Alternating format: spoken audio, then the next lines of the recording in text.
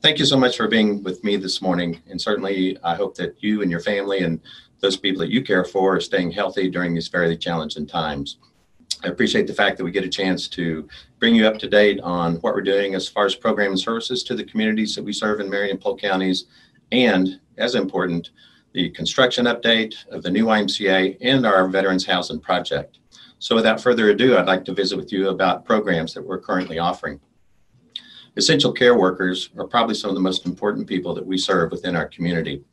Those first responders are in need of care so that they can serve us. I have one short, um, some comments, a response that we received from a family that we served uh, during this uh, opportunity out in the Independence, Monmouth Independence community. This summer, the YMCA Emergency First Responder Program was a godsend to this family in need.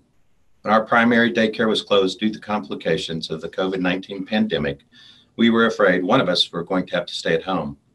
In this family, both parents are essential workers. With this program, we were able to work and know that our daughters, four, eight, and 10, were safe and healthy.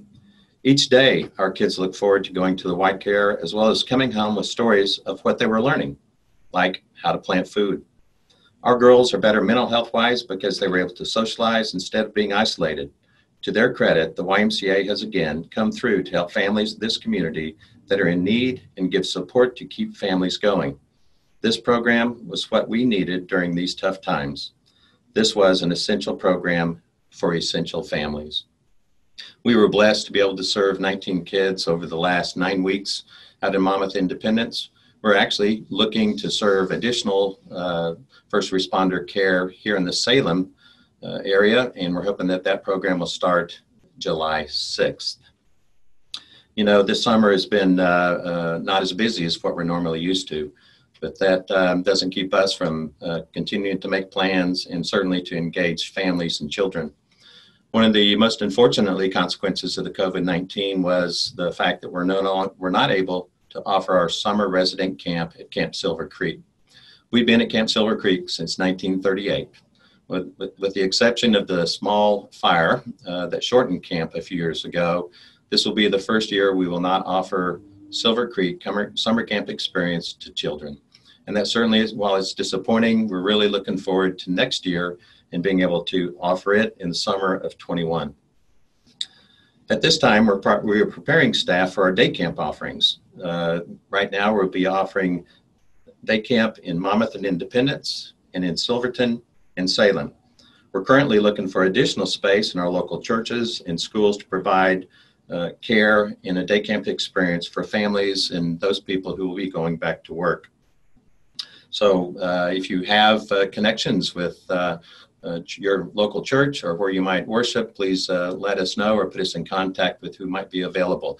As we have to meet the requirements that the state has put forth when it relates to our operations, small 10 uh, maximum uh, children in a group they have to stay together uh, with one counselor throughout the day so while there are many challenges out there we look forward to the opportunity to engage kids to get them out of the house the other uh, opportunity we'll have soon, uh, and we'll be offering our sports camps. So with the phase two opening, we'll be able to offer uh, certain camps with uh, specialty sports. Uh, please look forward to um, uh, that opportunity and getting your kids, your grandkids, or whoever may need to be getting out of the house to get outside and get active and be engaged.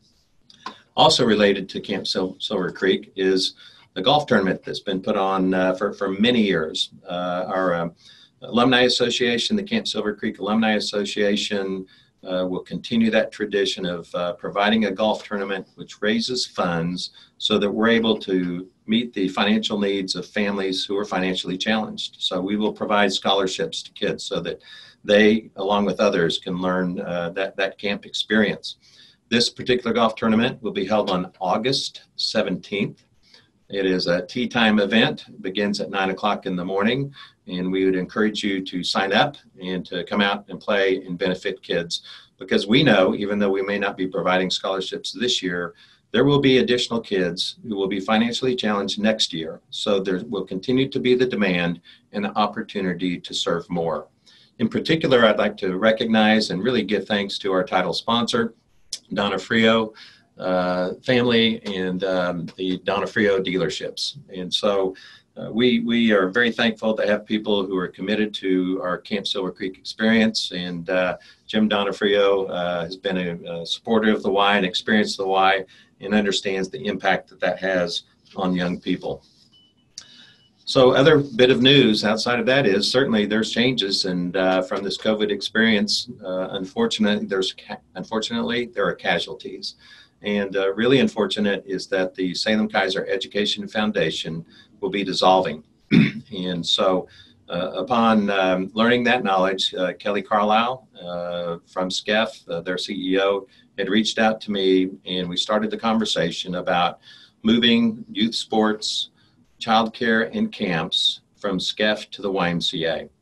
Uh, as you might know, we are very familiar uh, with each other in programming, and uh, we are really looking forward to this opportunity. Uh, we will be serving 11 additional schools, so we will be serving 19 schools in the uh, Salem, Monmouth, and uh, Silverton communities.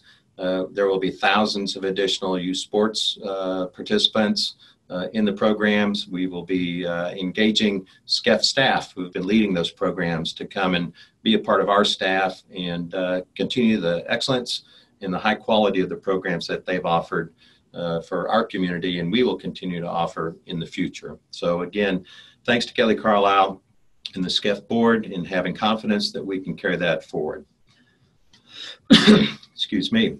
You know, the next thing that's, uh, again, exciting this week, we, we closed on the sale of the Ike box to Isaac's Room. We closed on the purchase of the corner parking lot property for First Presbyterian Church. Uh, I want to give a, shout out to Josh Kay for the work that he's committed to, to that particular event and making that sure that thing happened. Uh, we're, we're excited uh, for Ikebox to own their own property and to uh, be, be, free of the rent every month. Uh, we're excited to partnership with the, with the church and what that uh, opportunity offers us when we look at veterans housing and supporting veterans who so much need uh, housing, uh, other other support entities, and so the veteran housing project is firmed up. We have the funding for it with the Oregon Department of Veterans Affairs. Uh, we've started doing our due diligence, in fact, finished our due diligence on pro forma to make sure that it is in a positive cash flow position. Um, we have renderings and uh, schematics uh, as a first run that look to be, a, a again, a great opportunity. And um, so we look forward to really getting in construction uh, in the summer of 2021. And so thanks to everybody for being a part of that. And certainly uh, it, it's nice to be able to get the veterans housing project moving forward? Well, it's been some, some time since uh, we first learned of the $12 million uh, that's allocated to us through state lottery bond funds. We know that those funds are uh, firm and uh, are, uh, are in place, so we're not worried about losing those. And so, but, um, you know, a lot's happened since then. Uh, certainly, one of the big efforts was to tear down the old building and then to get ready for a foundation. Uh, what we did discover uh, was that, uh, well, the work's been completed, but not without some challenges. It was more abatement than what we had expected, and additional soil remediation had to occur. So that uh, all cleaned up this past last week. Uh, we're currently bidding the foundation package. Uh, as soon as those bids come up and we award the work for that, we look to start construction this August. And so that's that's an exciting time to, to be a part of this project uh, it'll be nice to start to get some walls going up in there. And, and certainly we look forward to opening in the late fall of 2021. Our fundraising efforts continue to be an area of focus as we have $15,774,000 raised to date and committed to the project. We have another $6.5 million left to reach our goal of $22.3 million. We are really looking forward to um, getting free of the, the COVID uh, 19 experience uh, to be able to get out, engage you all as uh, donors, uh, to engage other potential donors, and certainly to get the project underway and opened of uh, December of 2021.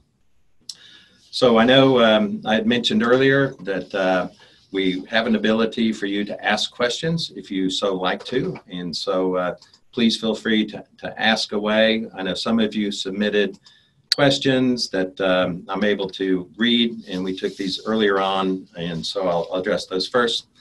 And uh, please, with your questions, open up. So the first question that we have is, what occurs in the areas for children and youth in the new building? Well, you know, it's not too much different than our old building, uh, besides the fact there's one pool instead of two. Uh, children and families have been a focus of the Y for forever. And uh, so space in this particular facility, our child watch uh, area is a two, two hour place that parents can drop off their kids and participate in um, health and wellness activities. Uh, there's another room that's committed to older children where we practice and uh, implement STEM activities, science, technology, engineering, and math. Certainly the pool for uh, swim lessons. Swim lessons are so critical here in the valley with the amount of water that children have access to. And so we're, we're looking forward to that opportunity.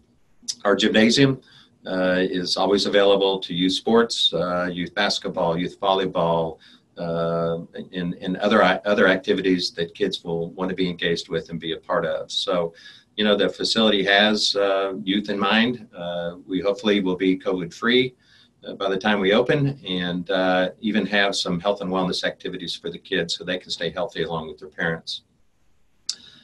Will there be Camp Grider this summer? I think uh, that's one of the things that we've uh, we're currently examining. Certainly, there's some logistical challenges with that, and uh, ho- hopefully, we can overcome those and allow kids that Camp Grider experience. Uh, if you would happen to have a relationship with the church in, in our community and help us with some inroad to be able to use church space for day camp activities, uh, all of our day camps are held within the guidelines of uh, the state and uh, and so all of our ratios are kept where they're supposed to be, and our stable groups are kept in place so that uh, we don't uh, expose our kids or in, encourage. And we want to encourage everybody to be COVID free and respectful of it. Dimensions of the pool: it is a um, it's a four lane, 25 yard pool. Uh, there was a question earlier about the temperature of the pool. Uh, it, it will be warm but not hot, so it's really not a therapy pool. However, it needs to be kept warm so that uh, young people who learn to swim can be in a comfortable environment. And certainly, and most importantly, is having a warm water pool and the only one in the community. We're able to say serve those individuals who have physical challenges. And uh, so, in order to serve all, we wanted to make sure that that was available for all projected start date for the YMCA construction, uh, as I said before, we're hoping to get underway at the latest this August. Uh, we have a 15 month time frame to complete the facility.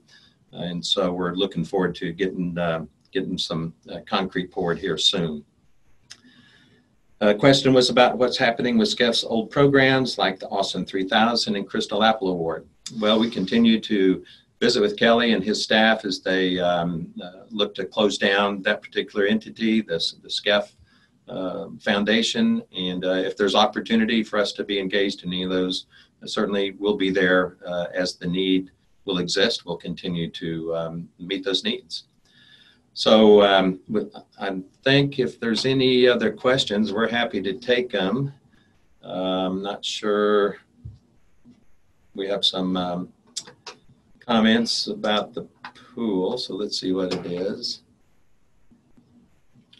You know, I, I think um, we can still, the question it was referring to the warm water and uh, how it might affect uh, masters, swimming, and those kind of things. I, I, I, think there, it will not be a detriment to lap swimmers at all. And so uh, it, it's a warm water pool, it's not a hot water pool. And I know uh, real lap swimmers, those people who really enjoy the pool and like the lap swim, like it a little cooler.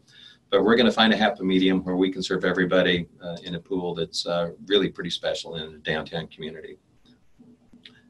So thank you all for being with me uh, this afternoon. Uh, I really appreciate the opportunity. Please reach out to me at any time with any questions or concerns.